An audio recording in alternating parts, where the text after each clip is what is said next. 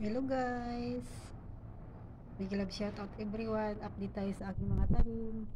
Sarap ng bahay nila amo. Yan o. Ang bago kong tanim na mamulaklak na naman. Yan ang pinagkakabalaan ko araw-araw sa umaga at sa hapon.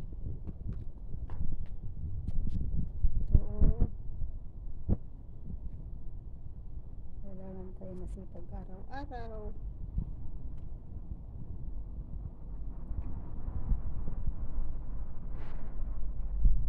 Ganda ng bulaklak mga guys.